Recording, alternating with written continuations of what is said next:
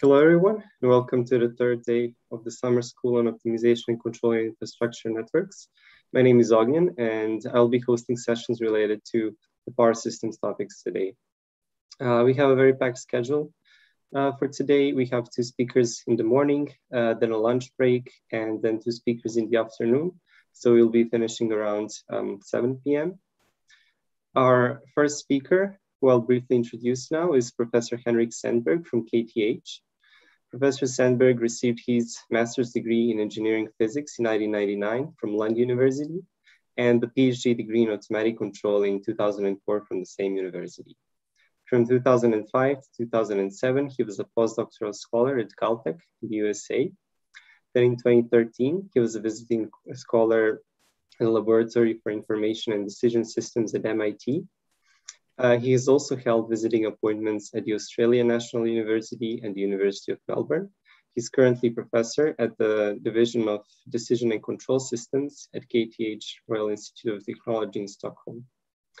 His current research interests include security of cyber physical systems, power systems, model reduction, and fundamental limitations in control.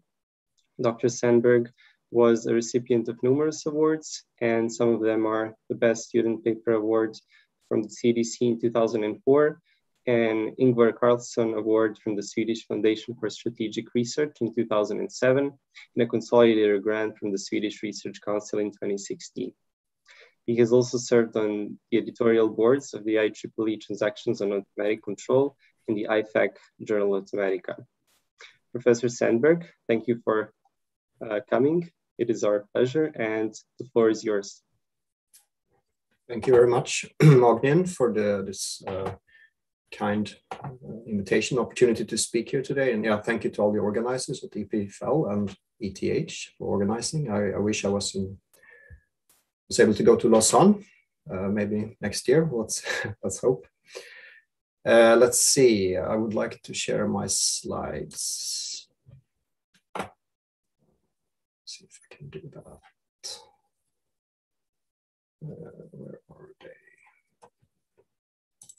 There. So can you see them now? Uh, yes. Yes, okay. Good. See if I can, so I was able to see the chat as well. Uh, yes, so um, I'm here today to talk about some uh, power systems topics, and uh, I chose the title Optimal Scheduling Power System Applications. Uh, when I worked on the slides, I realized that I'm, I'm mostly going to focus on, on, one particular um, application on, on uh, scheduling and discrete uh, combinatorial optimization in, in power systems. But I think there are many many such problems. I will list some of those, uh, and I will also try to cover some of the some of the background material that um, I think is necessary to uh, to understand uh, what I'm talking about here today. With that said, I, I really hope that you uh, interrupt me, send a chat message, or just interrupt me if you have any questions. Uh, I was hoping I planned for around two times 45 minutes. So I will try to speak for the five minutes, have a break. And uh, of course, you can also ask questions in the break if, if that is, uh, if you'd like to do that. Uh, and with that, uh, I think I will, will start. Uh, first of all, I'd like to say that the slides I've been using here, it's uh, contributions from many people in um, in our group, former, uh, formerly in our group, or other, collaborators, for instance, Kin Cheong Sou, Filip Andrén, Michelle, Michelle Chong, Martin Lindström, David Umsonst, Tom Pesa Sahara, and Karl-Henrik Johansson. So they have all contributed over the years to this material. Um, so the topic uh, I would like to talk about today is, of course, uh, see here, minimize the, this so it doesn't power grids. Uh, and uh, I think here is, is a schematic view of a, of a power grid. Uh, I think this is just to show the, the different scales and the sizes of, of these systems. So it ranges from all the way from the transmission level where we have the major bulk generation, such as uh, hydro plant. I suppose you have lots of those in, in Switzerland, in Sweden as well, where we have a very high voltage, all the way down through different layers to the to the household where we uh, usually have around 230 volts in, in, in Sweden and in uh, Switzerland, I suppose. Uh, so this is a, certainly a large scale network systems. Uh, today, I will mostly focus on this lowest layer. Uh, I think during the day, you will see uh, examples also of, uh, of some lectures touching upon the other layers. But I, I will focus on, on this layer here, and I will motivate that as we get along. Uh, just to have a, a, picture, the lowest layer, this is how it can look like, uh, at least in Sweden. Uh, this is this secondary substation taking down the voltage from the medium voltage to the low voltage. And it feeds into a small uh, uh, uh, station that feeds the houses here. So this is kind of the, the level we're talking about today. So the substation, here's a typical uh, line diagram of how it looks like. The substation is this station here, and there's a line that feeds the different houses here. And if it's a smart uh, system, smart power grid, often you think about that the houses may have their own generations, so there might be solar panels, etc. That's what's indicated here with DC-AC. So a solar panel is a DC device. So it, it could potentially uh, convert to AC and feed it back into the grid. That would be a, an example of components you, would, you would see in a, in a smart power grid. So today I will talk about AC grids. So uh, we will talk about active and reactive power flows. So it's all AC systems today. This is just an example of, of the systems we're talking about. Uh, so the outline of the talk is something like this. I will first give a little bit of background on the particular problem uh, we'll talk about, the scheduling problem I mentioned. Um, and then I will move into some of the basics. How do we model these systems uh, on the uh, distribution level? Uh, I think you have a little bit of a mixed background between power grids and traffic networks optimization. So uh, feel free here to say, tell me to speed up or slow down depending on what you what you think. And then I will move on into the particular application I mentioned, namely minimum time secure rollout. So it's a scheduling problem of how to optimally uh, schedule and uh, yeah put out applications on, on, a smart power grid on these uh, distributed devices in a, in a power grid. So we will touch upon things like integer linear programming, bin packing, and some case studies just to see how this works in, in practice. So that's that's the outline I had in mind. So as I mentioned already, I, I planned for around two times 45 minutes. So hopefully we will get to around maybe the power distribution, a little bit into the scheduling application in the first 45 minutes. We'll see how far we get. All right, so if there's no questions so far, I think we'll just move on. Uh, yes, I should say that this problem I, uh, am talking about today, scheduling problem, it, it, derives from a European project we've been involved in. It's, it's ended last year. It's called the Largo project, and it has lots of uh, partners, especially in Austria and in Germany, AIT, Siemens, Wiener Netze. It was uh, mainly, it was hosted in Vienna. Uh, so th this is kind of where, where some of these uh, this problem actually comes from. That's how I got uh, interested in this problem in this project.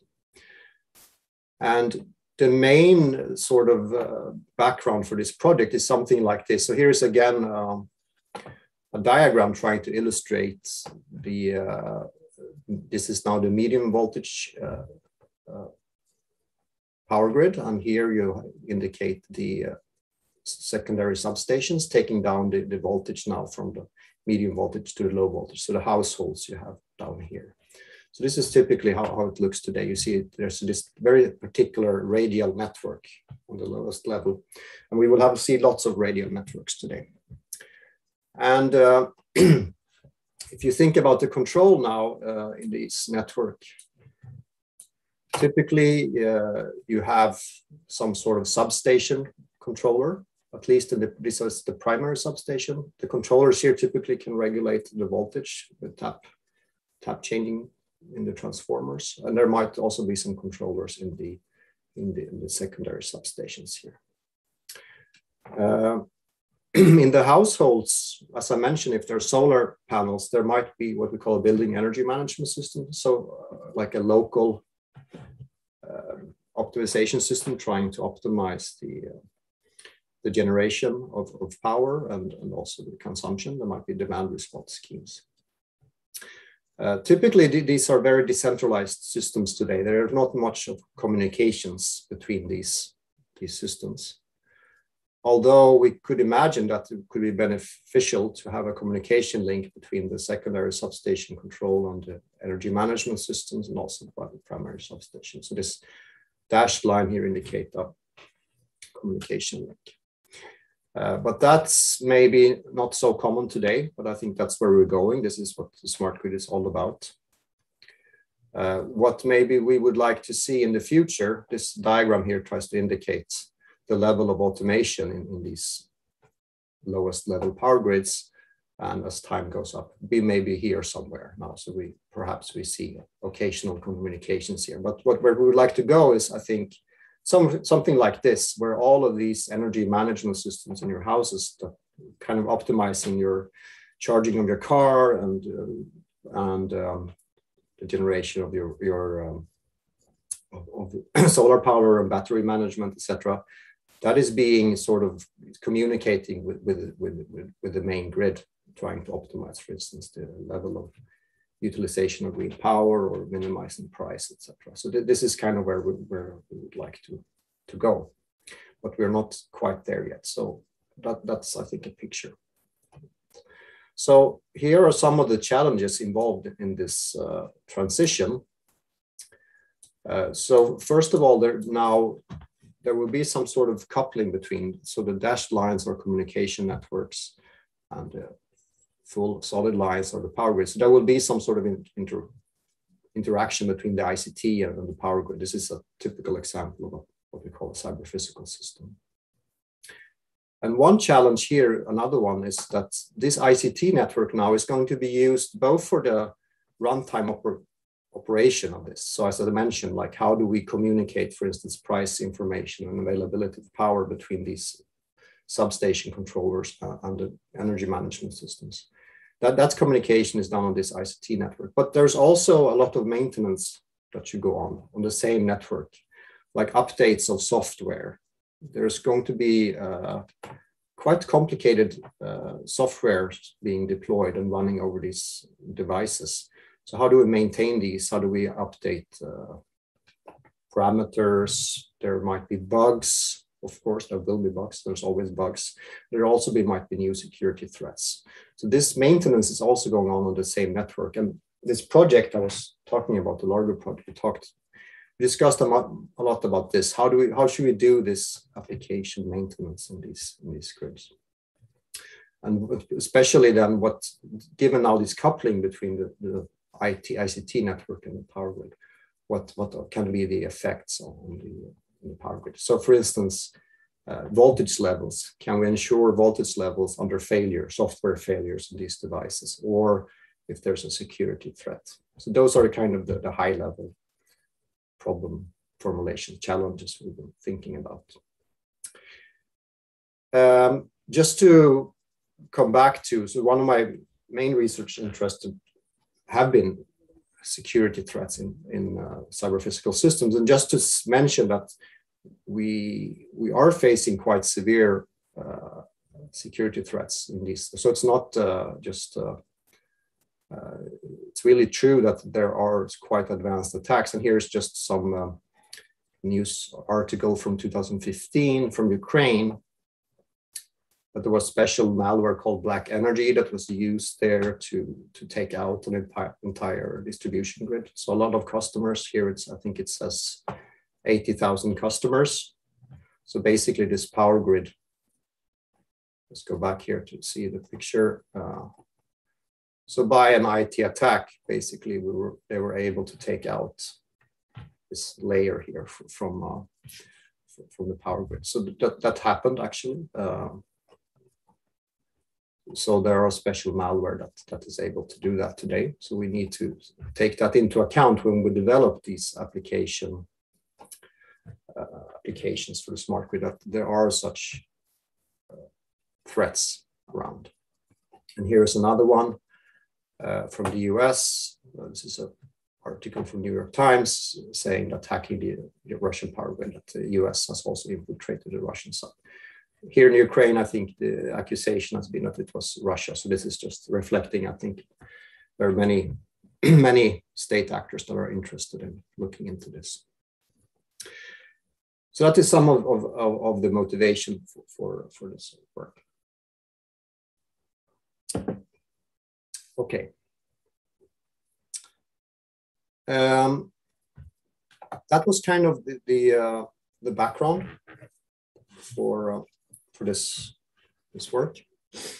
So let's uh, now move into the sort of the modeling part. Let's get into the, some of the more technical details of what we're actually doing. Um, so here is uh, a very simplified diagram of uh, the chat window here so I don't block myself. So uh, so here's a simple uh, line diagram of uh, basically a small section. Um, as I already mentioned, on, on the, this distribution level, we will often have these radial grids, so no mesh, mesh networks. So why is that? One, one reason is actually uh, safety for the customers.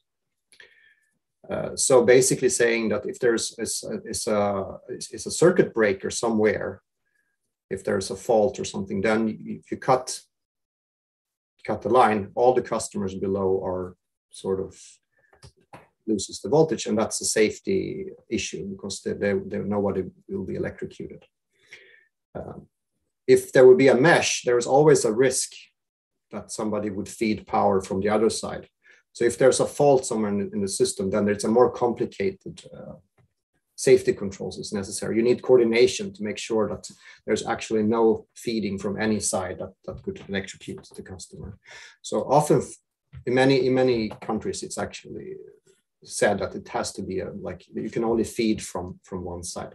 With that said, often there's configurations so you can reconfigure the system so that the feeding comes from different side But uh, simultaneously, there should only be feeding from one, one, one point.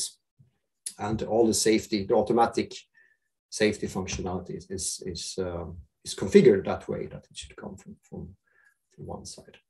Uh, actually, that is another issue that a lot of the safety functions in these grids are configured so that power should only go one direction from the from the top, so to say, from the secondary substation out to the customers.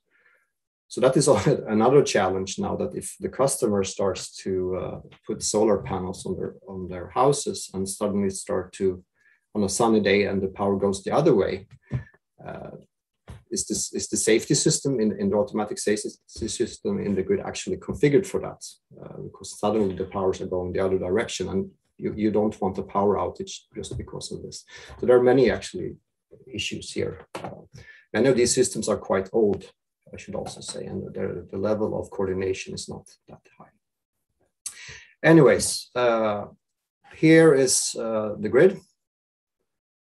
Uh, a bus here we can think about as a household, more or less, or a sub uh, connection point in the grid.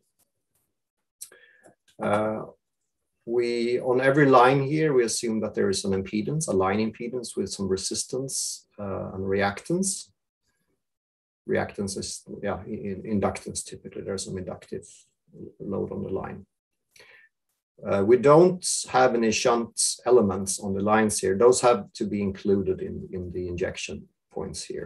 Uh, so the models I use here today, they will assume that there's only a line resistance like this. Uh, the variables I will use today, uh, so V, uh, VK is the voltage level at bus K. it's actually the, the magnitude of, of the, the phasor. So it's uh, yeah, the level of voltage, 230 volts or 400 volts, depending on, on where you are in the grid. Uh, so if you know AC, usually there's also, this is a complex number and usually there's a phase as well. But today I will try to not talk so much about the phase. And this is actually possible to eliminate this as we'll come back to under this assumption that we are looking at radial grids. So V will be the just magnitude. And correspondingly, L here would be the uh, magnitude of the current on this line. Uh, again, so it will no, no phase on, on, the, on the current. P uh, sub ik will be the active power flow on this line. So coming from bus I going towards bus K. And if you know AC, there's always a, re a reactive power flow. I will not go into the definitions of these. Uh, I, I suppose most people have seen that already in their studies. But just to remind you, I mean, active power is what we uh, usually pay for and consume. And we turn on the light, watch TV, or watch uh, Zoom lectures. Uh, but there's always this reactive element, which is basically more or less the, the, uh, the power that we're bouncing back and forth in, in the inductive elements. And it's also very important to keep that one in mind because as you will see, it affects the voltage levels. So we're mainly paying for the active power, but there's always the reactive element, uh, the reactive power we need to think about. And in these diagrams, usually the reactive powers are have as a, a line here across like this. So that's the flows. Uh, injections, uh, I only use one index, PK, and we define them to be positive when it goes into the uh, bus. Uh, so often in, in, the, this might be a negative injections, a consumption. So if we're now using our computers, watching a Zoom lecture, this would be a negative uh, active injection. Uh, but we might also inject some reactive power here. So this is the net net load of our household, let's say, into, into the distribution grid. So the sum of active and reactive element. And, and we might also have a reactive power consumption here, depending on what type of loads we have. For instance, a solar, uh, a solar power device usually have an, an, um, an uh, inverter, uh, power inverter that we can control. So we can, to some extent, shape a little bit how much uh, reactive power we may want to inject or consume here. This is something we will talk about because that can help us to regulate the, the power here. Uh, yes, what else? RIK is the resistance then, yes, and XIK is the reactance. I already said that, I think. Okay, this is distribution flow. And to model these relations between these, these um, quantities, we, we will use the so-called dist flow equation. So it's distribution flow for short. Uh, and they uh, show up many places. I think they were first derived in reference one, Baran and Wu. So all my references are listed at the end of this this lecture on the slides there. So I will, I think Steven Low, who is the final speaker today, will also talk about these equations quite a lot. So this one of the references here is, is to his, his work in this area. Um, and as I also already mentioned, uh, and is indicated by these choice of variables, uh, the phase will not play a major role here. And uh, in fact, you can also eliminate the current magnitude. Uh, and often you talk about the so-called power flow problem. So what is the power flow problem? Typically it's something like this, that assuming we know the voltage level at the top of the grid, so top of the grid here would be typically the secondary substation. Let's move back a bit here, what I mean by V0. So V0 could be here, for instance, this voltage level here. Assume I know the voltage at this level then you would like to compute the voltage levels down the line here. Here, this is the this is the communication grid. Here is the physical grid. I would like to compute the voltage levels on this points here.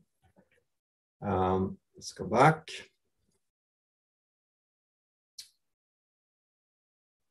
Here, there. And I assume also I know how much consumption I have or injection I have in each of these nodes. So the problem is then, as I said, I would like to find the voltage level in, in, the, in each node. And I also like to compute how much power is flowing on the lines. So this is interesting, for instance, for safety reasons, because voltage should be within a certain, for safety reasons, should be within a certain interval, typically uh, in the household around 230 volts. And the power flows on the lines should not be too large or too, yeah, too large basically because of safety reasons. So often you would like to, to check that or dimension the system so that these, these values are within safety margins. So that's a power flow problem. It often shows up in, in uh, power system studies. Um, please tell me if I'm going too too slowly here, but we'll speed up a little bit shortly. So uh, here the equations popped up, and I should say this problem here has uh, this problem here has a unique solution for practical networks. Uh, typically, if the voltages in each level here is around one per unit, so often we, we will normalize all variables here. Uh, so unitless, so voltage around one basically mean you're around the nominal voltage. And the resistance and the reactances are relatively small. So this is, in practical cases, often the case. So we will assume this in this talk here so that there's always a unique solution. Because this is a, uh, the relations between these variables is nonlinear. So it's not obvious that there is always a unique solution. But under these conditions, that's the case. So here are now the dist flow equations in blue. So let's, what do they say? Uh, they say, for instance, that uh, if we look at bus K here, it says that the power PIK going into that node, if we subtract the injection here, that should equal all the active power going out to the neighbors. So it's more or less active power conservation. But there is a loss. So some active power is being lost on the line here, which is the resistance times the squared currents, Ri squared. So this is the ohmic loss, which you're maybe familiar with. So it's more or less, if you forget about this term, it's just saying that the flow coming in here is equal to the sum uh, and subtract the consumption, it's equal to what's going out. So that's very natural, but then there's some loss. Similarly, on the, on the reactive side, uh, the reactive power fulfills a similar relation, except now that instead of an ohmic loss, there is this, uh, let's say, oscillation of power in the inductive elements here. That uh, it's the reactance times the current squared. Um, the voltage levels, voltage level squared, fulfills this equation. Uh, so it more or less says that the voltage level in this bus Uh, is equal to the voltage level in this bus minus these linear terms, which is linear now in the flow, in the active power and the reactive power. And here you already see what I mentioned, that we need to think about the reactive. Even though we're only paying for the active power, you see that the reactive power on the line here, it will influence the voltage levels here. So if there's a very large reactive power flow here on this line, and there is not the, and we need to take the reactance into account, it will decrease the voltage level in this point here, which the customer is paying for a certain voltage level here, right? So if the voltage level is too slow here, uh, too low here, the, the, distribution company is not delivering what it promised, and there is a fee associated to that. And if it's too high, it's a safety hazard. So we need to make sure that this voltage level is, is, within bounds. And then there is a, a, a loss term here that involves the squared current. There's also a relation between the um, the um, the squared um, the squared uh, currents. and the squared voltage. This, this, uh, the product of those is equal to the, the squared uh, active power plus the, reactive, the squared reactive power. This is more or less the, the magnitude squared of the so-called complex power, but I will not go into that. Uh, but as I mentioned here, you can eliminate the currents. So why is that? Well, you already see that here in this equation, right? You see it's I squared here, I squared there, I squared there. If I put this in Uh, substitute in this last equation here, we have three equation only in the active and reactive power powers and the voltage levels. So that's why this problem here is, is a well-defined problem. Again, assuming a radial network, because then these equations are enough to, to, to solve the problem.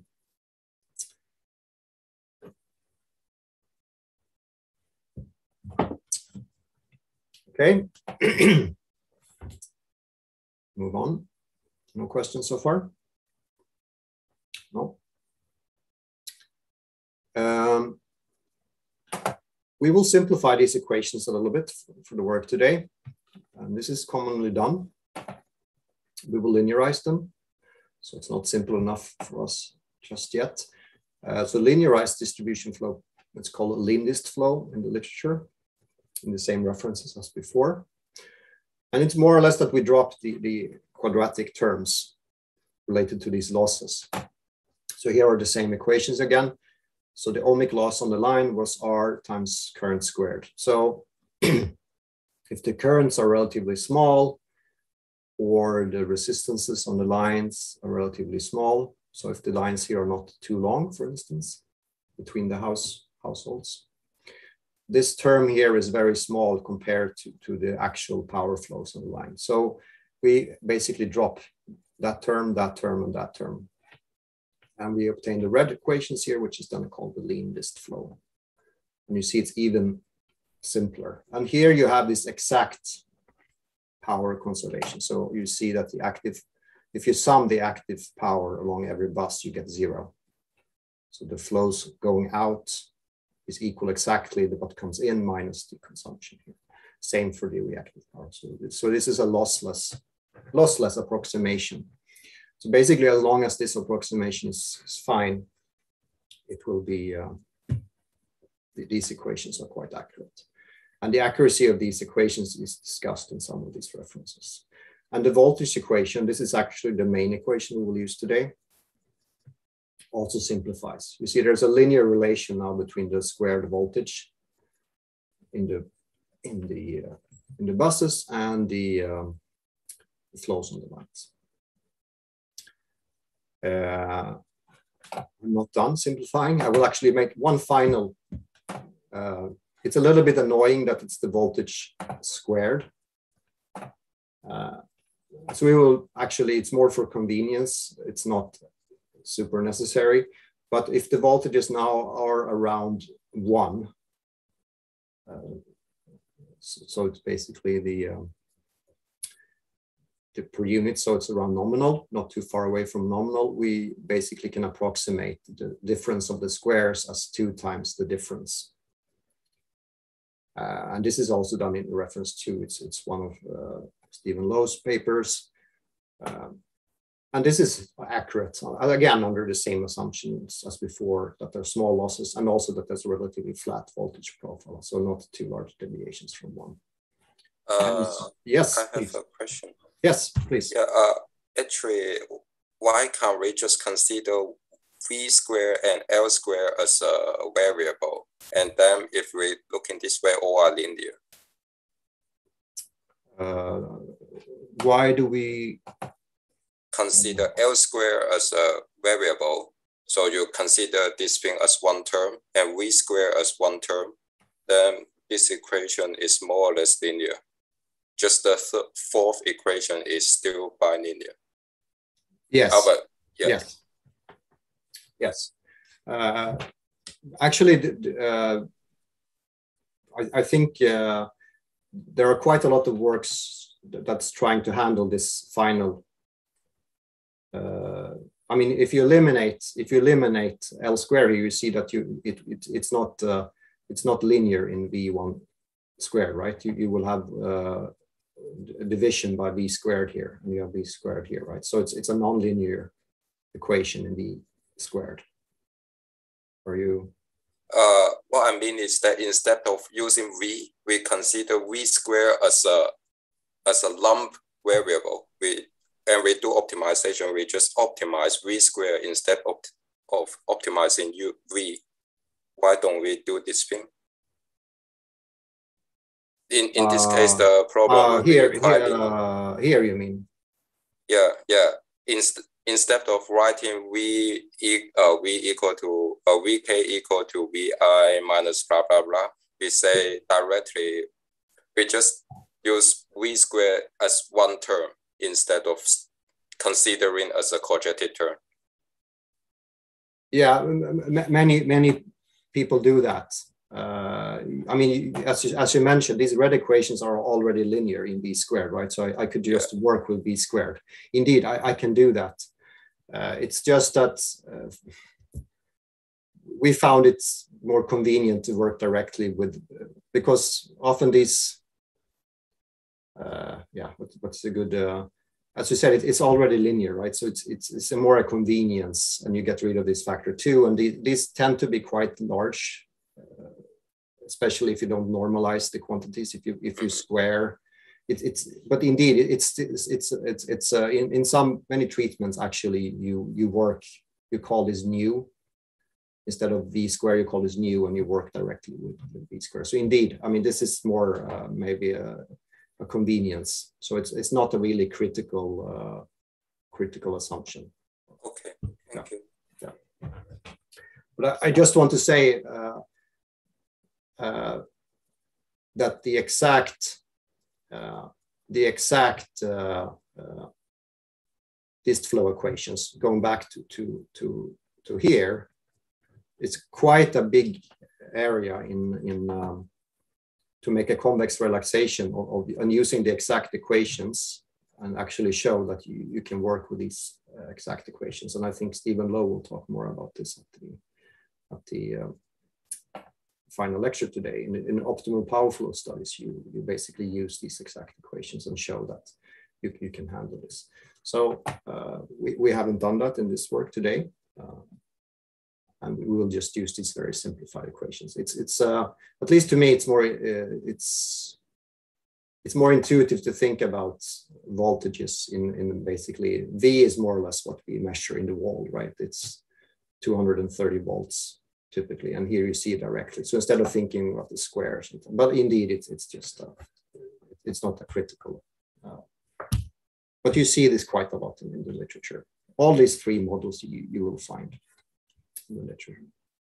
And I, as I said, I think you will see uh, much more about this exact dist flow model in the lecture by Steven Low. Any more question about the model?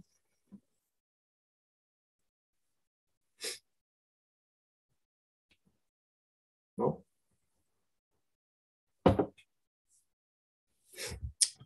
Um, let's see. So uh, here is how you can write uh, these equations in matrix vector form. This is often how it's used if you're writing code. I think especially if you're looking in large scale uh, applications, many many consumers, you'd like to write it in a matrix vector form. Uh, so here, here it is. Again, we have a radial grid. Uh, so V0 again, typically is the voltage level now in the uh, secondary substation. And these are connection points. At, at the end of each line here, you can think about it, it's a customer. And we assume there are n plus one buses and n branches because it's, it's a tree. And uh, V0 now uh, is uh, in the power flow problem, it's assumed to be given. So we know, we know what this voltage level is, at least for, for now. And the vector V now here are the unknowns, the vector, uh, the, the voltage levels in these points. Uh, the active reactive power injections is called P. uh, and Q. So the injections in these points here. I should say that it's it's uh, in P now, it's N elements. So it's injections in these points here. So notice that if I know the injections in these points here by power by losslessness, we basically can compute how much power is needed to be injected in the in the substation here to fulfill the. So that's that's a, a dependent variable. So so P and Q here are are uh, are enough. And then the resistances and reactances are put into what is called matrix, uh, reactance and resistance matrices R and X. I will come back to that. So more or less the relation between these variables now can be written in this form. So the vector of voltages is more or less the level of voltage in the supply. And then there is a linear correction now depending on the injections and the, and the injections of uh, reactive power. Notice now I've eliminated the flows. So this is an equation only in the voltages and in the uh, injections.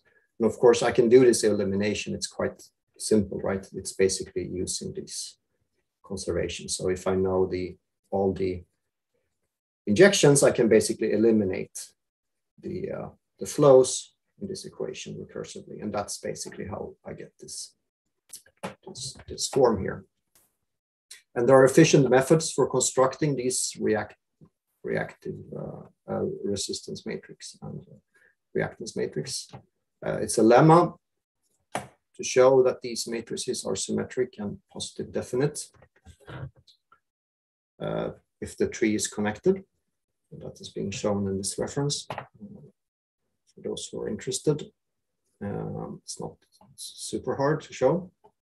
So how do I how do I find those entries in this? If, if I look at the grid like this, how do I find the entries in this matrix? How should I think about this? Well, here's a rule of rule how to do it. To find entry R sub ik in this matrix or xik, it's the same. You should connect bus i and k uh, to the uh, root of the tree. And you should add all the resistances or reactances, then depending on Rx, that are in, in intersection, intersecting on these two, two connections. So it's an example, here are some examples. Let's take element R43. So four and three. So if we connect now bus four to zero, it's basically here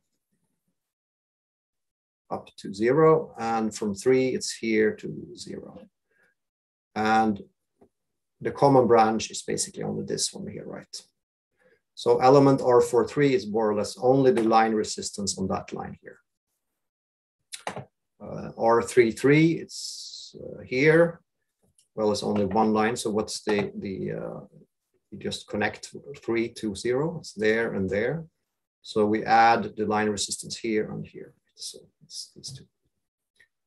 And for instance, the reactance element X45, 4 and 5, we follow up to the root. So it's these two here, right? So it's X 0, 1, and x1, 2. So 0, 1 basically means from 0 to 1. So that's how you construct these matrices. So it's, it's very, very fast to, to, to, for a given network to basically construct these matrices. And as I said, they, these are symmetric and positive definite if it's a connected tree.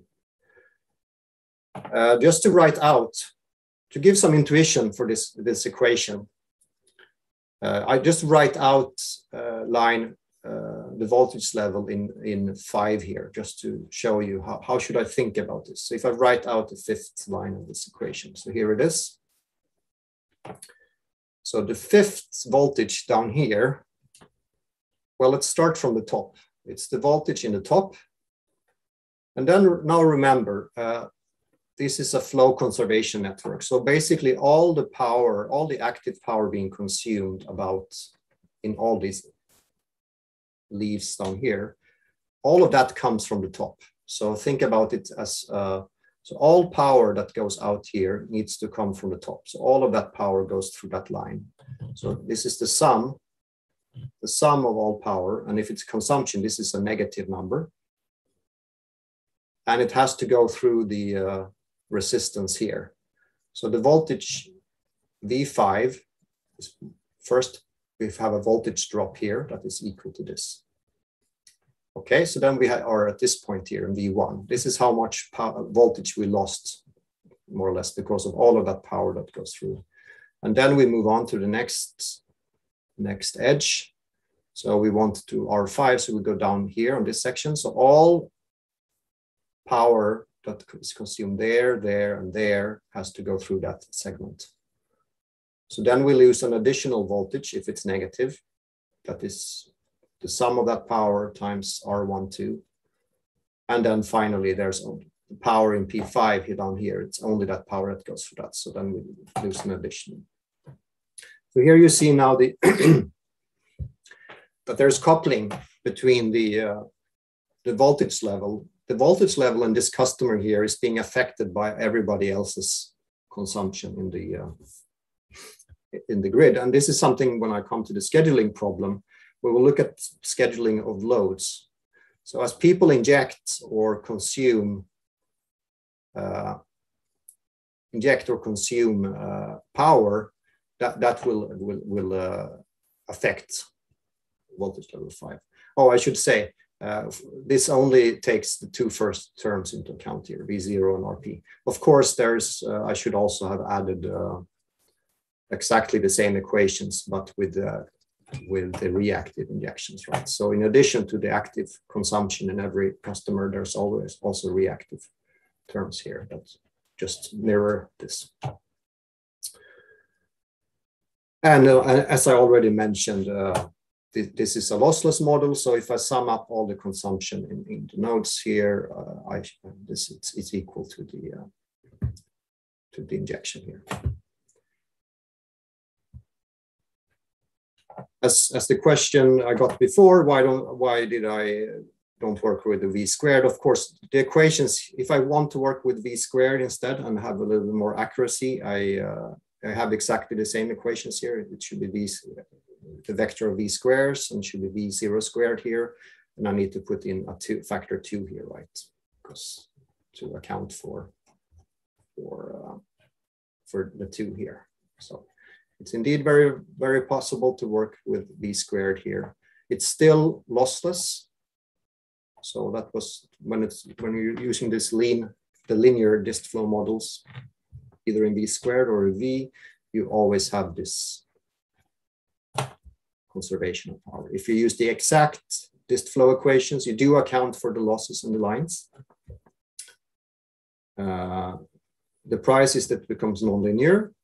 Uh, but that might be very important to you if you're doing, for instance, optimal power flow, where you're trying to minimize, optimize the production. You, you, I mean, the goal of that activity is actually to minimize the losses in the system, right? So that then it becomes important to becomes important to uh, to uh, to take those losses into account. So depending on what your application is, uh, one model might be more suitable than the other. But I think this linear model, linear approximation gives a lot of insight. It gives you some understanding about how, how the voltage levels in the different customers is affected by everybody else's.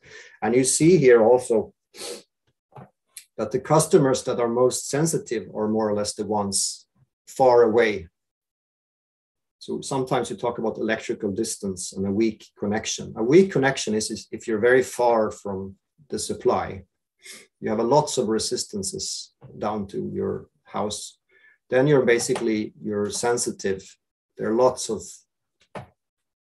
terms that are basically perturbing your, your, your voltage. Whereas if you're up here, V1, for instance, it's only this small resistance R01 that will sort of affect you. So, so if that resistance is small, it doesn't really matter. You have a strong connection to the grid. Uh, whereas these five here might have a weak connection to the grid and you're more sensitive to, to, to the consumption pattern of others. So that, that your distance to the supply is, is actually an important factor to take into account. Okay, um, I think this might be a good point to take a, a little break. I don't know what, Ognian, if you have any if you agree. Uh, yeah, yeah, I, I completely agree. Uh, so would you like uh, 10 or 15 minutes? Uh, we have, so your time slot is until 10.30? uh, yes, we, we can take, um, maybe we take 10 minutes. If that's fine. All right, sounds good. Uh, I, I will be, uh, I'll, I'll be around here if there's any questions so far for these 10 minutes. But yes, let's take a break. All right, great. See you in 10 minutes.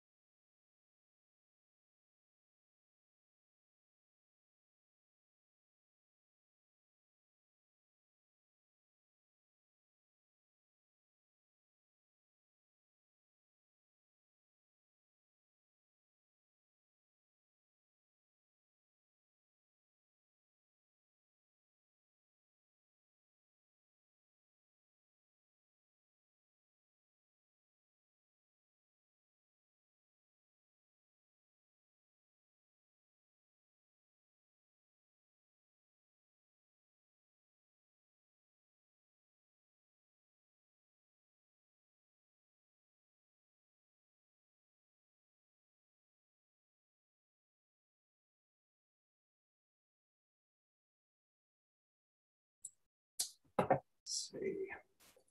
So Ognian, are you, are you back? Uh, yep. Yeah. So has it been 10 minutes?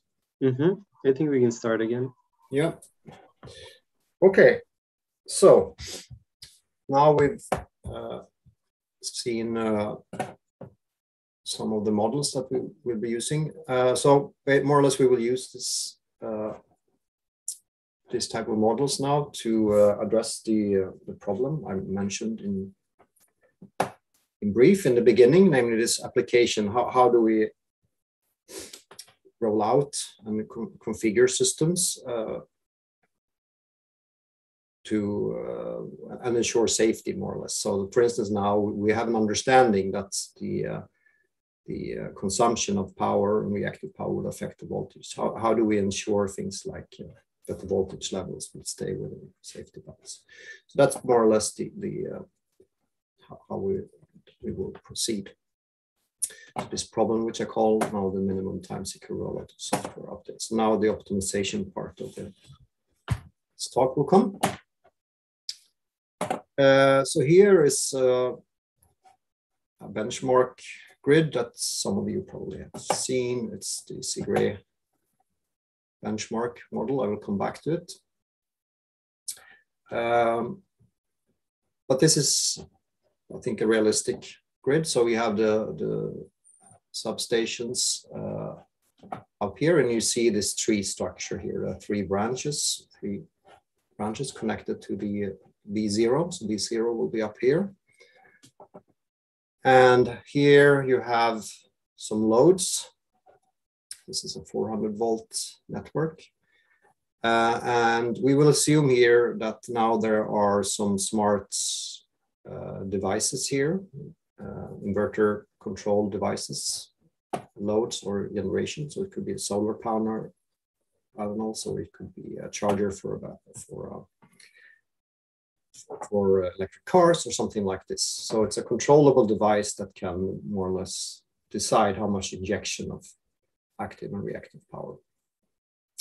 And of course, it has a control system and it can be now updated. So assuming now we have this communication network here as well, where we can more or less communicate to these control devices, um, so how should we communicate with these devices and more or less make sure that they do not, for instance, all of them starts to consume maximum power simultaneously, uh, which would then affect the voltage levels in every node, which might violate. So basically, in every point of this grid, we need to ensure that the voltage levels is within the safety limits under all possible consume, consumption behaviors. And you understand now if this is a very large network, this is not super large, then, then you, there's lots of combinations that you, you need to, to consider.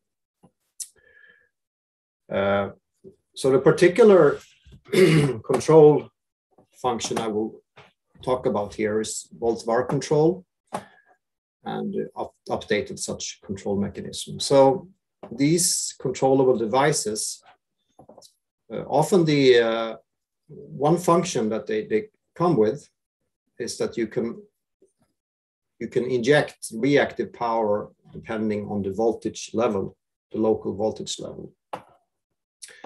So here is a figure. So there might be a solar panel. And there, here's the inverter that takes DC to AC and it injects the, uh, the uh, reactive power into the grid. And we've already saw in the model that this will affect the voltage level here, but also the voltage level everywhere else in the, in the grid. Here is a typical function of how the injected reactive power will depend on the, um, the, the, measured. So it's a, it's a, it's a local control loop, decentralized. So generally, uh, if the voltage level is so this would be the nominal value here in the middle.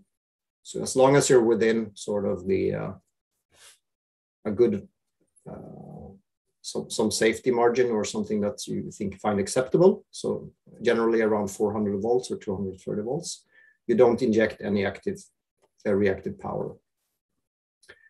Uh, but if the uh, voltage goes too high, the idea now is generally that this device starts to consume reactive power. So you can set this controller here now to start to consume. So it will pull down reactive power and that will try to, as you remember the equations now, the dist flow equations, if I start to consume reactive power, that will pull down the voltage in this point. Why is this interesting? Well, for solar power, it's very often so that it's the active part. So here I only talk about the, the reactive component. There's also active power. Uh, and often that's controlled using some maximum power point tracking, basically saying that the solar panel is always trying to inject the maximum active power it can. So if the sun shines a lot, it pumps in a lot of active power.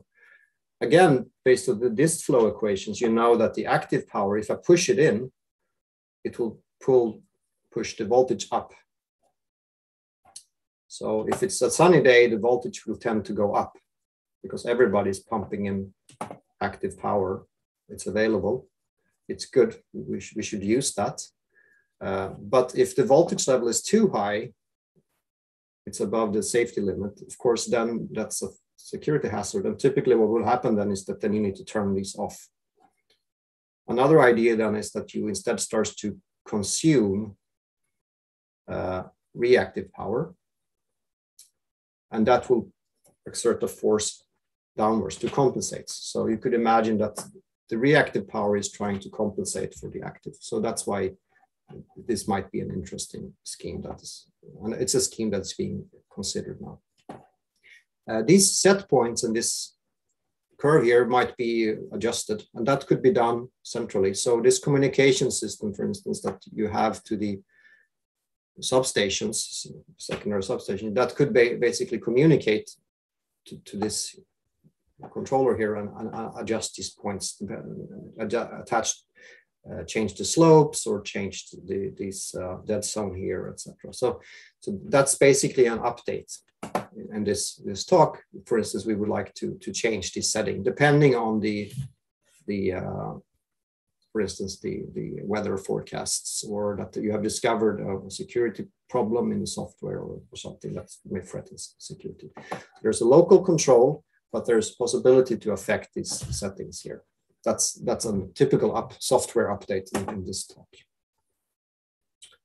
So parameter software update. For instance, operating condition changes, or for instance, also cyber security threat, for instance, as I mentioned, happens. So we would like to think about how do we communicate with these devices so that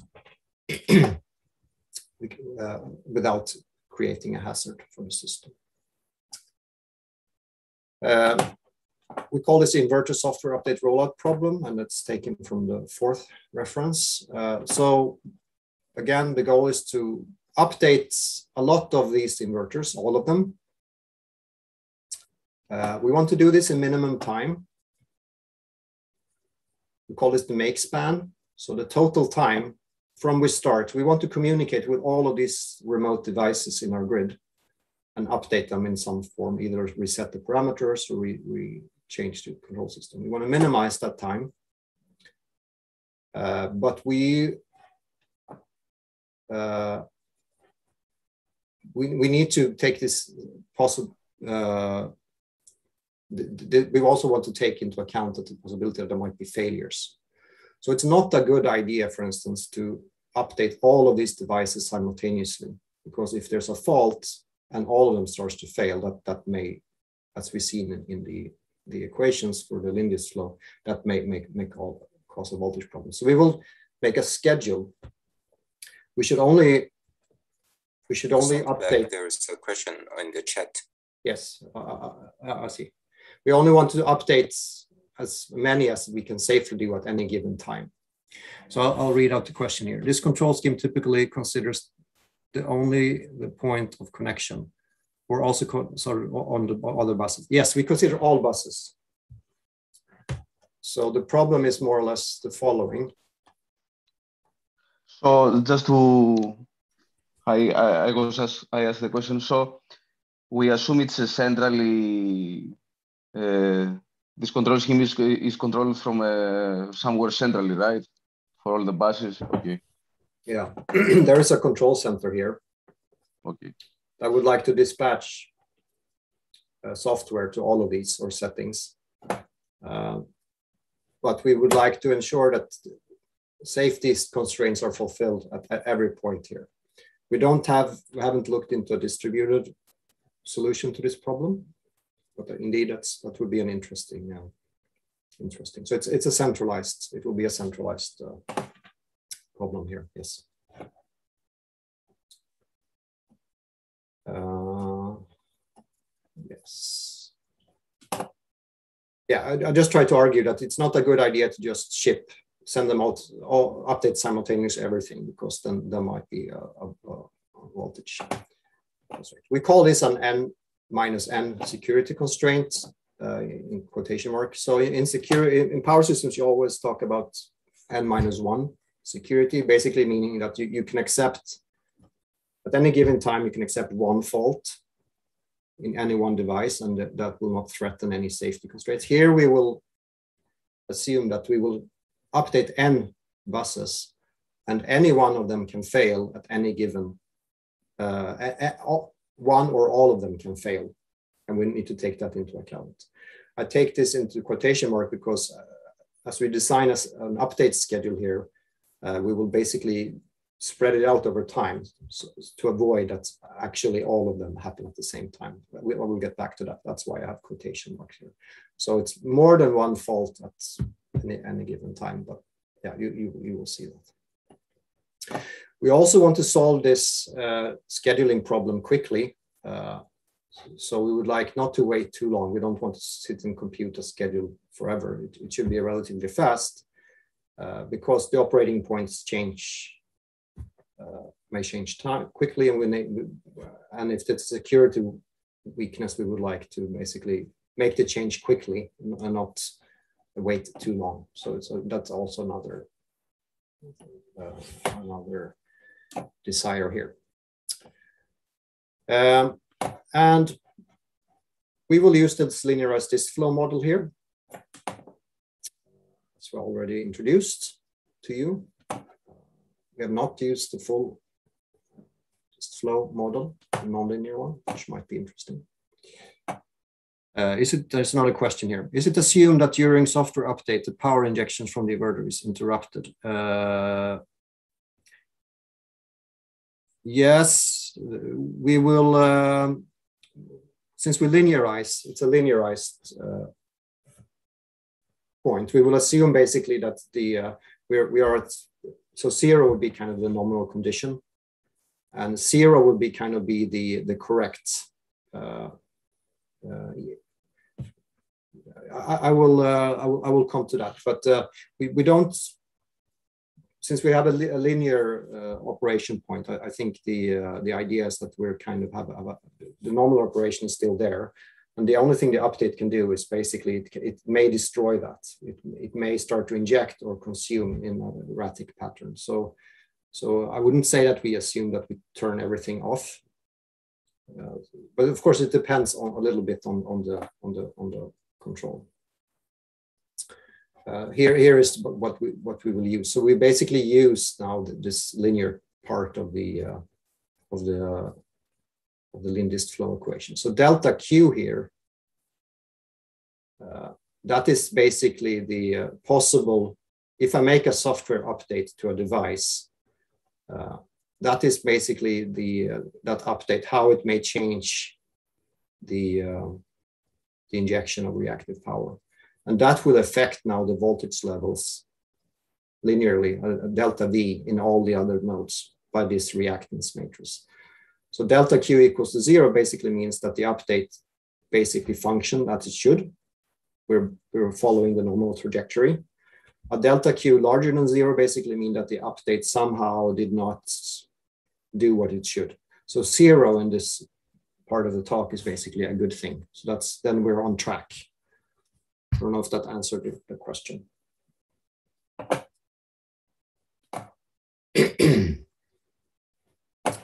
Um,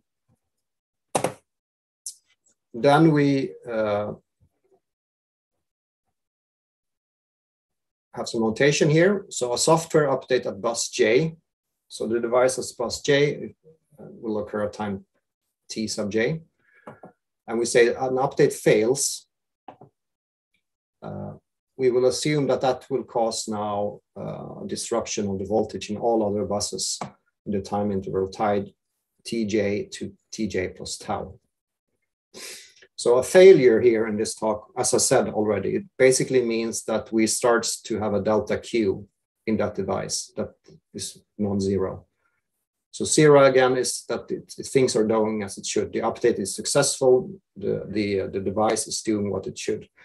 Uh, but if delta Q is non-zero, it basically means that it's starting to behave as it, it basically is between some limit. I mean, every device in our grid has a rating.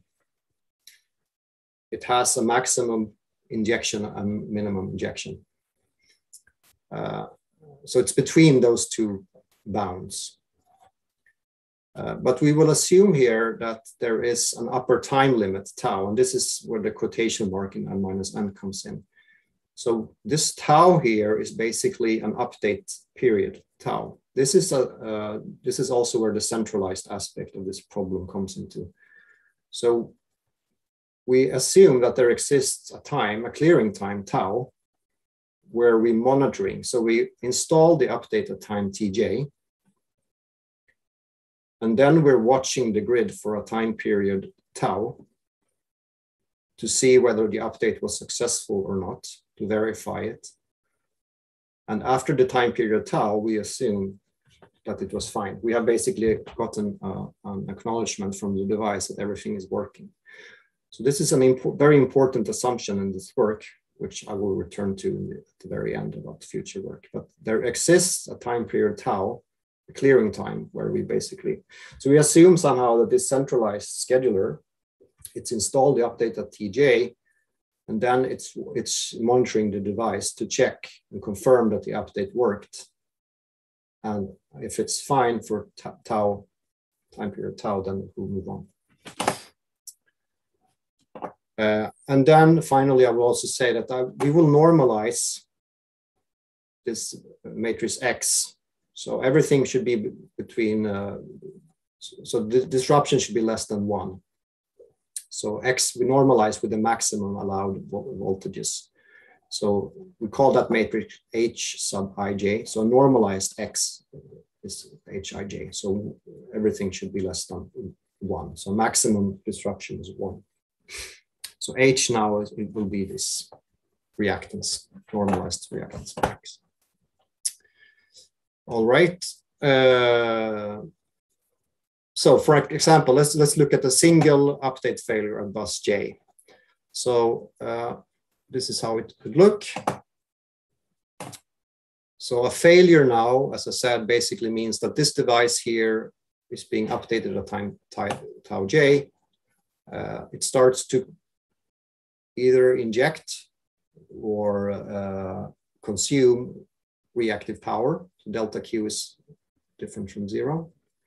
For instance, in this figure, we assume it's positive. In, in all of my slides here, we will assume it's, it's a positive. Fault is positive injection. So it raises the voltage. But since the models are linear in this talk, it doesn't really matter the sign. Uh, so, but for so think about that. This device is being updated at tau time tau j. It's the failure, the update fails and it starts to inject the maximum uh, reactive power can. And now by the dist flow equations, that basically means that every every device here on on on this uh, the uh, on the branch, same branch, will experience a raise in, in voltage, depending on its distance and location with respect to this. So here is the local voltage change. There's a rise. Uh, but this matrix, the normalized matrix Hij, now it will basically measure how much you will impact the voltage here and here and everywhere else, of course. So if the if this is a well-designed system, a single failure here would not threaten voltage level this bump in the voltage will not be, it should be below the safety limit. If it's not, I mean, then the system is basically, it's not a safe system. It's not even n minus one secure, right? So, so that's that we will assume that that you, you can tolerate a single failure, uh, but let's say now there's multiple failures now. And these are now the next slide. Multiple failures now, and since we assume linearity, we will have superposition, of course, of the disruptions. Uh, oh, I should say also here in, in, this figure, here you see this uh, tau, this critical parameter tau. So let's assume there's a failure now. Uh, I notice that there's a failure and there's a clearing time tau. So what I do during this time is basically I notice that I have a failure here and I basically turn off that device. So after time tau, this device is off the grid. It's, it's off. So I don't need to think about it. That, that was a failure. I need to, I will deal with that after I'm done with the rollout. So after that time, this is gone. So that you realize now the criticality of this parameter that I can basically forget about it afterwards. Uh, but here, here you see now if there's multiple failures, you will have additions. And here you know, now see that why it's a bad idea to update everything simultaneously, because if all of these devices fail, this may now add up to, to multiple voltage violations in the grid. So uh, the problem is more or less now the following. Uh, I would like to find the update times. So every device should be updated at time tau sub i. Uh, uh, but these updates are now intertwined because of the, the physical coupling between the devices.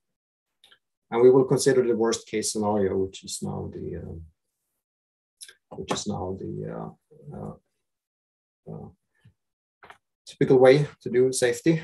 Uh, so more or less the following problem. We want to minimize uh, the maximum, the last, this means max tau i, the last update, the, the last the last device to be updated should be as small as possible. We want to finish this rollout as quickly as possible. We don't want to wait until next year to update everything. So as fast as possible, we want to update everything. But at any given time, uh, we cannot tolerate any voltage violation anywhere in the grid for all times and all buses for any possible failure condition. So that's kind of the, the problem here. And, and this is a non-smooth, non-linear programming problem. So in solution process is difficult as formulated, uh, but under our assumption on the existence of this tau clearing time, it uh, simplifies. Uh, so we will propose an equivalent but tractable reformulation of this problem now as using this assumption. And the first result now is basically to show that more or less without loss of generality, there this becomes a time slotted. The optimum can be without loss of generality becomes a time slotted uh, uh, problem. So any optimal update time can occur at any integer multiple of this tau. So tau becomes basically the, the scheduling period. Uh, so more or less what I'm saying is that we don't need to, these update times, they, they, don't need to be reals. It's enough to think about this as a discrete problem. And the intuition is, is quite simple. Here, here you see three different uh, scenarios. So these blocks here illustrates a voltage perturbation by an update. So here are three different possible update scenarios. This device is updated here, and this one's updated here. And the length of these intervals is tau. What you can notice now is more or less that if you round down to the nearest integer multiple of tau, uh, this starting time, you will notice that, of course, you will not, the schedule will be not longer than the schedule here. The final time will, will not be larger and, and no safety constraint will be violated. So here, for instance, this slot will happen here and this slot will happen there. Uh, there's no point where the voltage constraint is violated if it's not violated here. Same thing here, right? Here, we assume that the safety constraint is not violated here. And if both of them start here instead of there and there, it's still not. So it's basically showing that we can project down this optimum to an optimum that is no worse. So it's no loss in generality to assume. But here we, of course, we use this existence of the tau, this uh, clearing time. Um, so the updates becomes discrete and finite. Uh, and we can use now finite discrete optimization tools. We can use greedy methods, integer programming, constraint programming, and different meta heuristics. There are lots of opportunities here. Uh, I will offer you one uh, interpretation of the problem, which we call the multi-resource bin packing problem. So bin packing is a classical problem in, in uh, combinatorial optimization. And our problem can be thought about as, as a multi-resource problem. So what is what do I mean by that? So more or less the following. So uh, we want to assign updates. So every update I think now about uh, as an item, an item of a certain size that I would like to put in a bin. And a time slot is a bin. Uh, so an update is a potential perturbation. That's the size. The size of my item is basically how large perturbation it is. And a time slot, if I pack too many updates in the same time slot, I will potentially threaten the voltage safety, right? So the bin, the size of the bin, and now the, the multi-resource is basically that every every node in my grid now is, is a bin. So that's why it's a multi-resource. So typically in bin packing, there's only one box, or there's only uh, there's only one there's only uh, not, not one box, but there's only one sort of one node to pack where you can fit in boxes. Now we have sets of boxes in every different node. Uh, so more or less here is a single, this is a single node uh, in my grid. So this is a more or less a bin packing problem. So every, here is the size of an update in bus 21. This is the potential voltage perturbation. And then if I update in bus 32, this is the size of that perturbation. That's just 33 and 39. If I pack all of these, if I update these devices simultaneously, even if all of them fail, I will not threaten the voltage safety in this in this particular uh, in this particular uh, node. This is the next time slot. So this is one bin packing problem. Now I have this bin packing problem every single I have this problem in every single node in, in the grid. So I have one of these schedules in every every uh, every single node. That's why we call it the multi-resource bin packing problem. I don't know if this picture is clear, but I hope you understand this analogy with the bin, bin packing. And of course, this is an interesting problem in, in logistics where you want to ship, you want to send as few boxes as possible, right? You want to ship all of these items so all of these items are updates. We want to we want to uh, to ship them all. We want to update them all, and we want to use as few boxes as possible, as few time slots as possible. That's why it's a resource, a bin packing.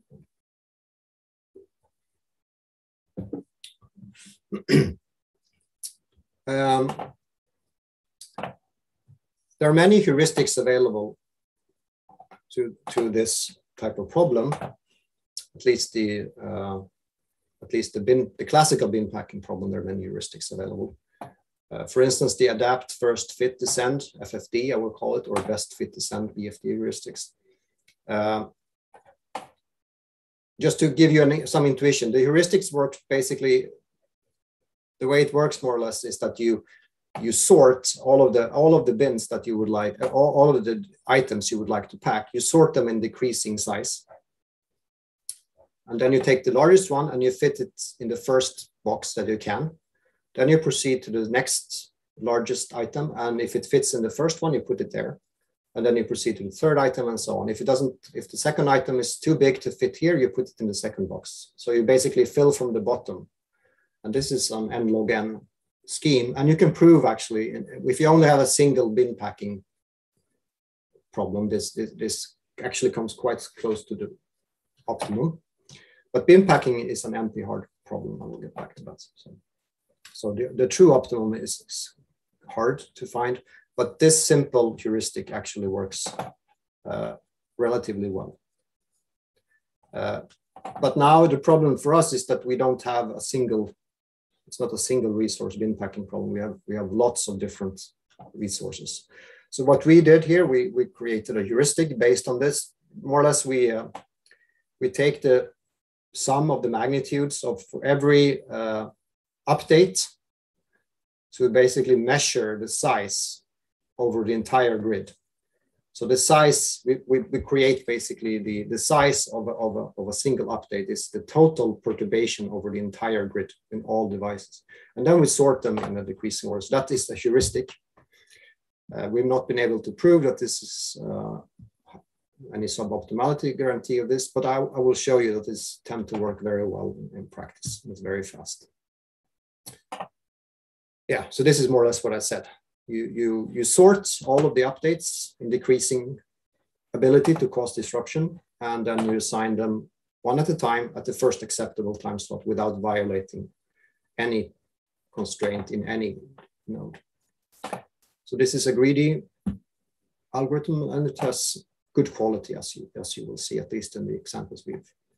And the time complexity is n log n, but we don't know any optimality gap for, for, for this multiple bin case. In the single bin case, as I said, there's well-known bounds. I, I, will show what the bound is at some of my later slides, my final slide, I think.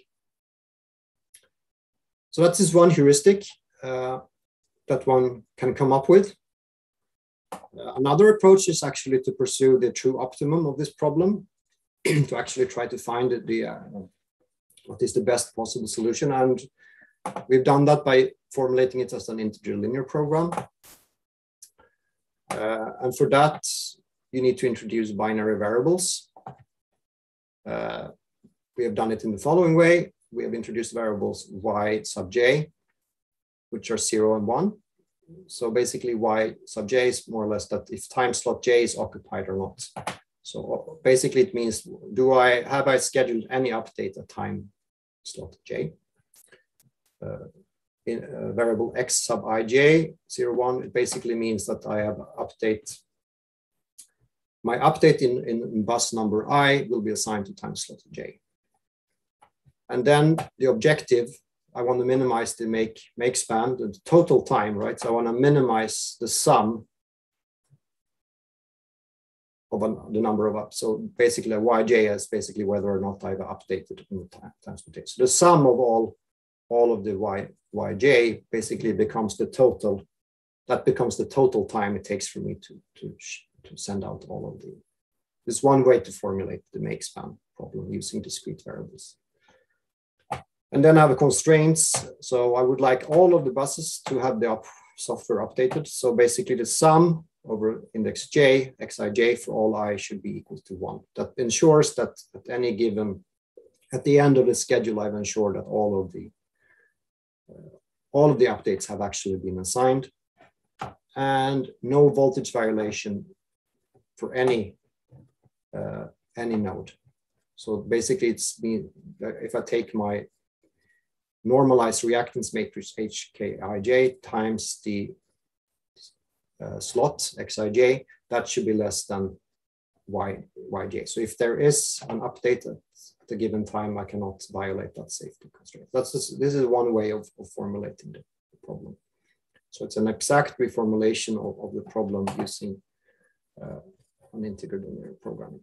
I'm not sure if you've used integer linear programs. I just just to show you, this is the canonical form of an integer linear program. So it looks like a linear program, uh, except that the, uh, variable I optimize over x should be now uh, uh integer variable. It should belong to Zn. Uh, and C, B, and A here are integer, integer uh, vectors and matrices. Of course, you can allow some of these variables to be reals, and then it's usually called a mixed integer program. So this is an NP complete problem. It's well known. So it already shows that, that the problem here is, is uh, at least in, in, its full generality, is, is hard. Uh, but there are many efficient solvers available based on branch and bound techniques, and Gurobi, CPLEX, and there also you can also format it using constraint programming, so ilogcp and so on. So there are possibilities to solve these problems in, in quite to optimality in, in, quite large sizes. So what I'm saying here is that we came up with a heuristic that is relatively simple to think about, this bin packing analogy. Uh, but you could also rewrite it as, as an integer linear programming like this. And then you could try some of these different solvers to see how it performs. uh, I would like to say uh, just something about uh, how to increase the performance. Since the problem is NP, NP hard, uh, sometimes the, the uh, it takes quite a long time or the software will not will not terminate in, in any reasonable time. So what you can do, uh, for, for, instance, in the for, for these solvers, you can you can try to help the solver.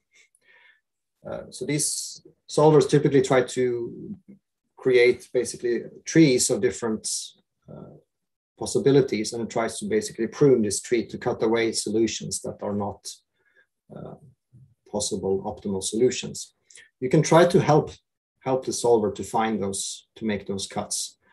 So here it's what we call valid equations inequalities. So it's basically, it's doesn't, these inequalities one, two, and three here, they don't affect, if I add these constraints to my problem, they don't affect the optimal solution. It's still, so it may seem like it's not really any, shouldn't add anything, but this it actually helps the solvers the way they work to more efficiently prune and cut away options. So these are three three equations we've been using. We call them valid equations. So this one, for instance, is quite trivial.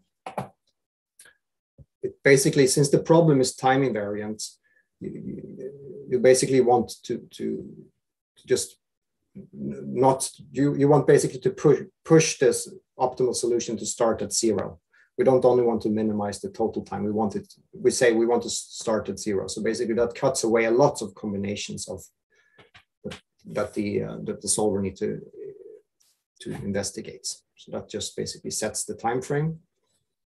We don't really, I mean, it's arbitrary. Time zero is arbitrary, right? Uh, here is an, another very obvious constraint. It basically says that if there exists uh, a bus so that the sum of HKU plus HKW, if that's greater than one, it basically means that if I update bus U and W, W at the same time, for sure I will violate the constraint in bus K. If there exists such a sum here, for sure, I mean, I will, that will not, that's not a feasible solution. So basically, I can just add a constraint saying that this is not even, uh, by adding this constraint on X here, I, I can basically exclude the possibility that these are, are even tried. I don't even try to investigate that these are scheduled at the same time. So I basically help the solver. So of course it will figure this out by itself if you wait long enough, but here I basically say that there's no reason to do this. And similarly, you can also find sometimes uh, sets of mutually exclusive updates. So for instance, you can create sets saying that all of these updates here, none of them can happen in the same time slot because that will violate. So it's a generalization you can say of this.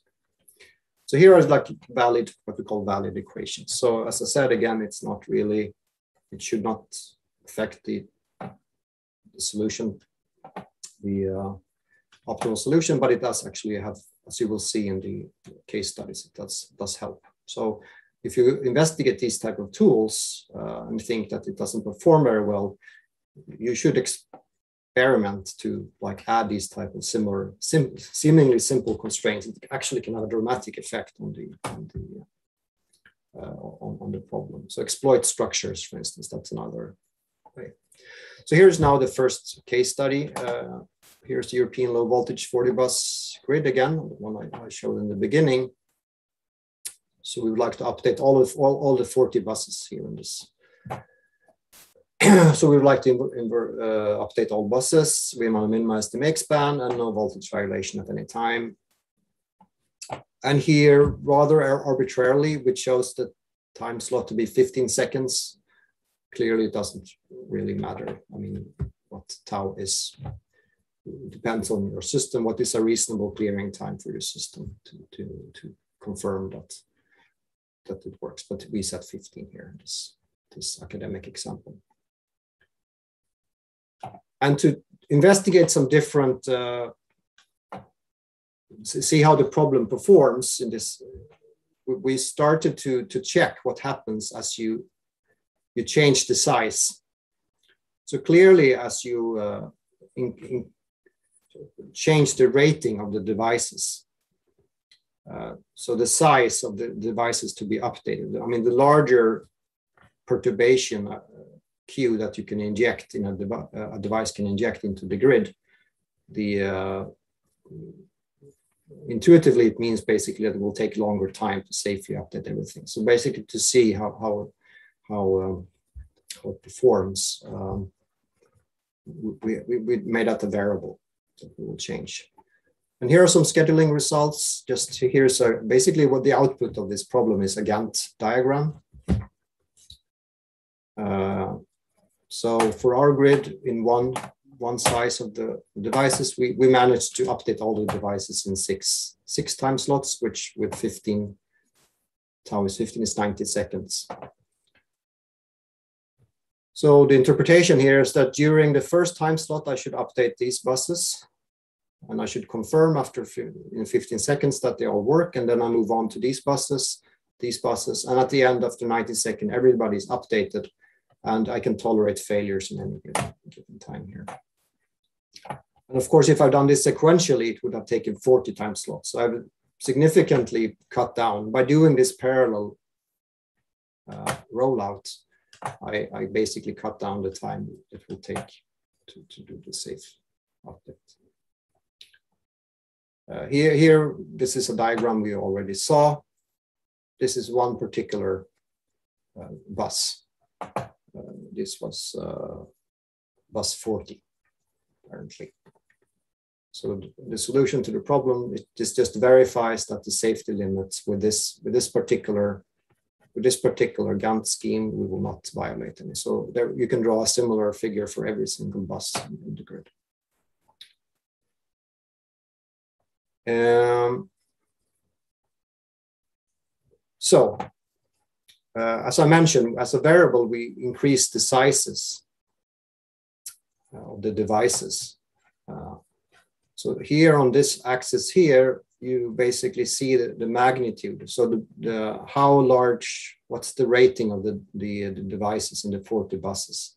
So as I increase the sizes, I mean the, the, um, the injection power of, of these devices, uh, how many time slots in total does it take to, update everything. And uh, clearly it's an increasing function. I mean, that's natural. Again, because if it's two very large devices, I cannot update them simultaneously probably because that would violate the constraints. And here I also compare now uh, the red here is the number of slots I need when I solve the problem to full optimality. So I'm, I'm using this integer linear program and I use these valid constraints. So this is the true optimum. There's no way to there's no way to solve this problem with fewer slots than this. And the blue now is this heuristic I mentioned. So more or less that's what I said, right? We think about this as a multi-resource bin packing problem. I sort all the updates in decreasing order, and I basically fit them in as the first available time slot. And you see it's more or less always you obtain the same number of, not exactly the same schedule maybe because it's a non-unique schedule, but the, the minimum number of time slots you, you recover here, except in this particular case here. So it does happen that you don't find the, the true optimum, but very often, very often you, you come very, very close. So it indicates that this, these heuristics are very, is very efficient. And it's very much quicker than running the uh, the uh, integer linear program. And here is just the uh, some statistics from this or experiments. So what you see here is the time in seconds it took on our, it's based, it was a laptop, so not, not, not no fancy computer. So just uh, relatively normal laptop. So here you have the magnitude again of the devices. Here is the different combinations of solution strategies we've been thinking about. So let me go through that. So F1, M1, it's, it's now I think about the problem as a multi-resource bin packing. And then I use this greedy heuristic. So I sort things. So it's more or less, it's, it's, the, uh, it's the red here.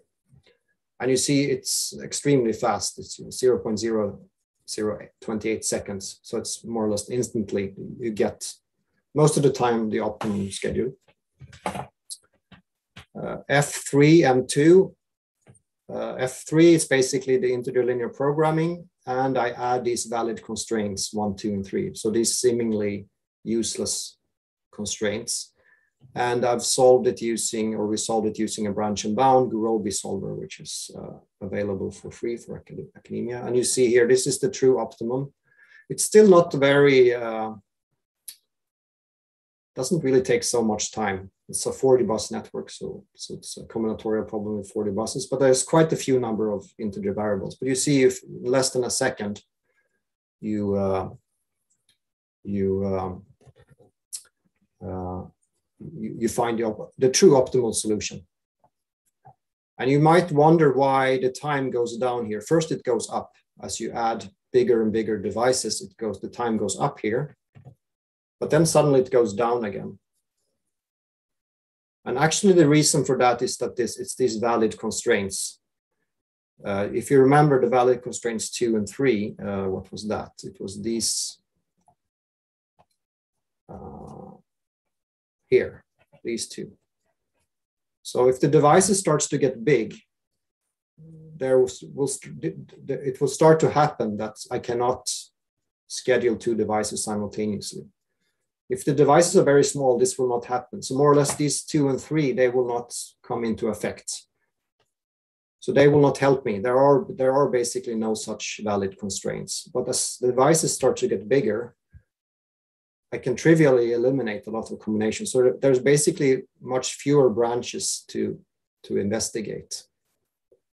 And that will explain to you actually when you have large devices, it's, it's much, it's actually a quicker problem. And you see that actually here as well. Uh, if you, uh, uh, yeah, there's not, actually you see here at least that, that it, it is not uh, a dramatic, uh, uh, there's actually some, some, it goes down here as well. So actually the solver actually managed managed to exploit some of that without those valid constraints. But still, you see there's a big difference in time so these valid constraints, it actually takes down the, the computation time here, especially, right? From half a second to 74 seconds. But just by adding these valid constraints, you get a lot of time. So it, it's really worthwhile to, to try to do that. We also try to use uh, constraint programming to solve the integer linear program, but in general, we had better luck with the branch and bound here. Uh, here's another uh, network which is bigger, just to show you uh, another, so 83 bus Taiwanese system. Uh, here you see some of the, uh, uh, the dashed line here are, are tie switches. So it's possibilities to re reconfigure the grid. As I said, it's at any given time, you should have a tree structure, but you can reconfigure the tree. So you, you can cut, you can turn off this line and, and, turn another line on. So that's possibilities for reconfiguration. Uh, but we use this configuration seen here. And here, here is another, so it's much bigger grid, uh, but you see a very similar behavior uh, uh in this 83 bus network. It's only rather seldomly that this heuristic will not find the optimum, but we have not been able to prove any optimality bounds, as I said. Here's some computation time. Again, you see the heuristic, it's extremely fast for this larger grid. Here you see the computation time using the same solvers. Uh, in parentheses, you see the optimality gap. So we actually uh, we set the solvers, Gurobi and the iLog CP, to terminate after 90 seconds. So we were a bit impatient. So after 90 seconds, we basically told the solvers to to uh, give us their best solution I've found so far. Uh, the good thing with these uh, solvers is that when you terminate them prematurely before they found the optimal solution, it will come with an optimality gap. So it's often that they have a dual lower bound. So it will basically tell you uh, what's a lower bound on the, what's a lower possible, what's a lower bound on the true optimum. So you can basically measure the current solution you have, how far away in the worst case it is from the true optimum. This is the relative distance in percent here.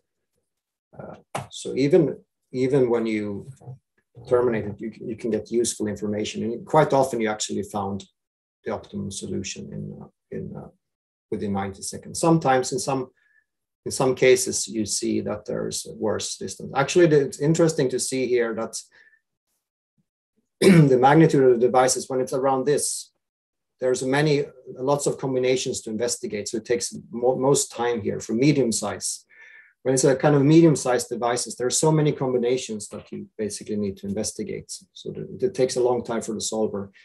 If it's uh, small devices, you can pack in a lot. It's not so hard. If it's very large devices, you know, it's not possible to squeeze in so many, so it's fewer combinations. But in the middle here, it takes a quite a long time to, to, um, to investigate. Um, yes. Uh, I should say, yeah. So in our studies, we we have we had better better luck with the branch and bound Gurobi solver the constraint programming. So this was uh, uh, what I had to say about this application. Uh, just to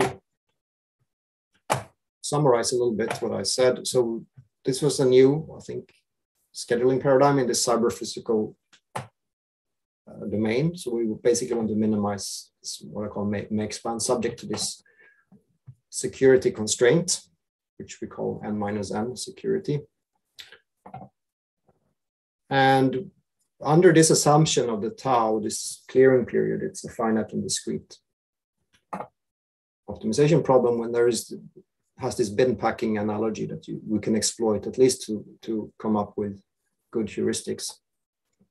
So it is NP hard, the optimal problem. And I'm, i both presented you to you this heuristics and the linear programming solution.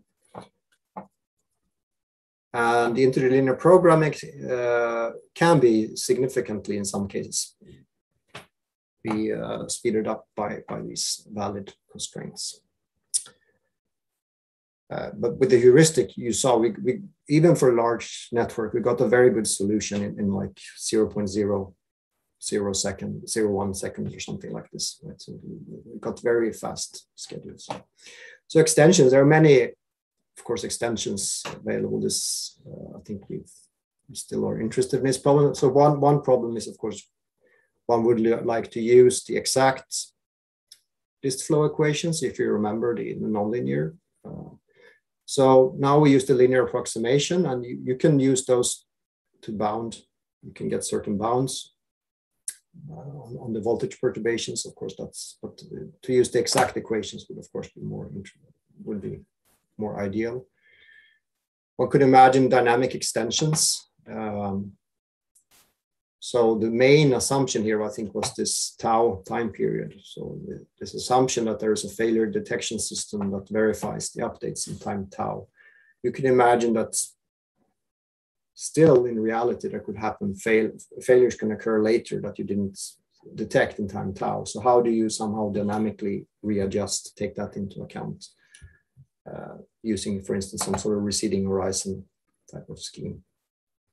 Of course, for that to work, it's critical that you can compute the schedules in little time. I think we already have that. So I think this is one possibility. And of course, it would be nice to have a heuristics that comes with optimality gaps.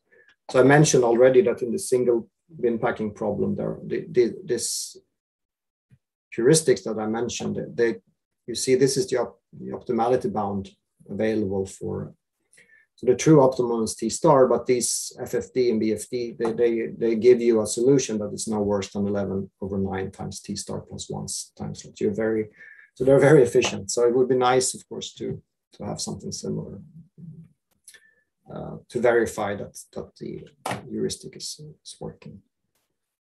Uh, in general, on this lecture, um, I'd like to say that there are many large-scale combinatorial optimization problem in this domain of power grid, smart power grids in particular. Uh, there's reconfiguration problem. I already show you that diagram of the, the Taiwanese system. There are possibilities to change ties, tie switches to minimize losses. Unit commitment, uh, optimal power flow problem. How should you optimize production in power grid? Which devices should be used when? Fault diagnosis and isolation, for instance, how do you find misbehaving devices? Security and contingency analysis is a problem we've also been working on in, in different uh, projects, uh, also combinatorial often, to try to find the uh, interacting fault condition and so on, similar to what we did here. I gave you a scheduling problem here today, the updates. Uh, we have also used quite similar techniques using mixed integer linear programs for demand response problem. So how to uh, schedule the use of different smart uh, home appliances. So how do we minimize the uh, the energy consumption uh, or the, minimize the uh, the price, for instance, or the uh, maximize the use of green power subject to to constraints of, of the individual home appliances. So that's in reference six. I will show you the references and so on. So there are many, uh, uh many interesting uh, problems here. I think it's also would be interesting to think about more distributed solutions. There was a question about that. Here we have a centralized scheduler and uh, fault detection systems. Is, is there a distributed solution to the problem? That would be interesting. I'll also encourage you to not be uh, just because the problem becomes combinatorial to just give it up. I mean, there are there are efficient solvers like Gurobi and CPLEX, and I, I, think they actually work uh, rather good many times, and should give them a try. Uh, especially if you can add, use structure and add these valid constraints that can often make it interesting. Also, showed you some basics dist flow and Lindist flow modeling for radial grids. Uh, that's something that you find useful. Um, and finally, this, uh, I think it's often uh, maybe underestimated, but this real-time application maintenance and rollouts in critical infrastructure in general is it's, it's actually in, in, practice a major challenge. So critical infrastructure like power grids or distribution systems in general, or even if factories, if they're running 24 seven, uh, these systems and there are safety constraints, it's, uh, uh, it, it's actually, uh, it's, it's, hard to update. How do I do updates of these systems uh, without threatening any, any, any safety concerns, safety constraints in the grid? And often there are lots of old legacy components there as well that we need to, to take into account. So how to do this, I think it's not uh, very you know, well studied always. So even many times, I think these systems, even if there are known vulnerabilities, for instance, in software, they still uh, are not being updated because it's basically a big hassle. It costs a lot to shut the system down to, to update it.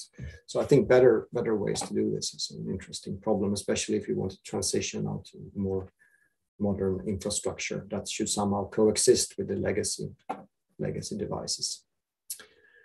Uh, here, here are some of the, the, the, references. So references one, Baran and Wu, this is the dist flow equations. Uh, Steven Low, we will talk more about his work on uh, optimal power flow in the afternoon. Here's a lecture that goes into some more details on the power flow modeling command. Uh, so this scheduling problem I was talking quite a lot about at the end here, the minimum time secure rollout. This is was uh, in, um, is from this paper four here. Um, paper five and six are some related work, and six is this scheduling problem I mentioned at the very end of home appliances, if you find that interesting. Uh, and by that, I'm uh, I'm done, and I think I ran over little bit. I think again, but hopefully not too bad.